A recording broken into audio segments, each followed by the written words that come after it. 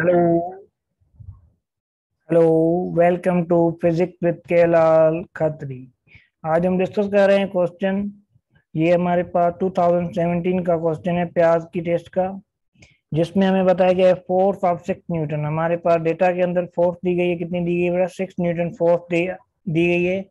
Changes the momentum ये क्या कर रही है? मोमेंटम चेंज कर रही है बॉडी का. मतलब बॉडी है उसके ऊपर फोर्स लग रही है और फोर्स लगने की वजह से उसका जो मोमेंटम है चेंज इन मोमेंटम वो हमारे पास कितना है? Three kilogram metre per second है, ठीक है?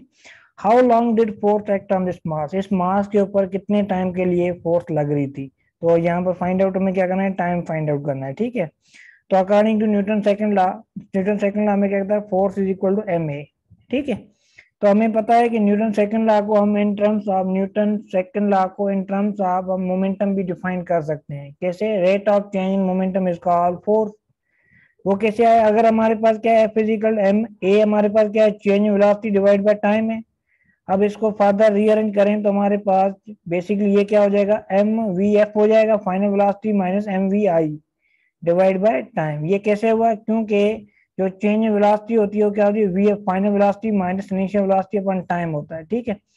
तो मोमेंटम बेसिकली हमारे पास क्या है? Momentum is product of mass and velocity क्या है बेटा? Product of mass and velocity तो यहाँ पर फाइनल वेलोसिटी इनिशियल वेलोसिटी तो हम इसको क्या लिखेंगे change in momentum divide by time तो ये हमारे पास Newton second law in terms of momentum क्या डिफाइन करते हैं? The rate of change in momentum is called force जब मोमेंटम में चेंज आ रही होगी तो फोर्स उसके ऊपर अप्लाई की जा रही होगी। तो यहाँ पर हमें फाइंड करना है क्या है? हाउ लॉन्ग डिड फोर्थ है? कितने टाइम के लिए फोर्थ लगी? टाइम फाइंड करना है तो हम क्या करेंगे? डेल्टा पी ओवर हम कर लेंगे टाइम यहाँ पर फोर्थ और पी की जो वैल्यू हमारे पास यहाँ पर कितनी दी गई? गिवन आंसर क्वेश्चन के अंदर पी हमारे पास दिया गया है थ्री और हमारे पास जो है फोर्थ दी गई है सिक्स न्यूटन और ये अगर इसको डिवाइड करेंगे तो हमारे पास क्या हो जाएगा? ये वन बाई टू मीन ये हमारे पास ज़ीरो पॉइंट टाइम जो होगा that equal to zero point five second हमारे पास।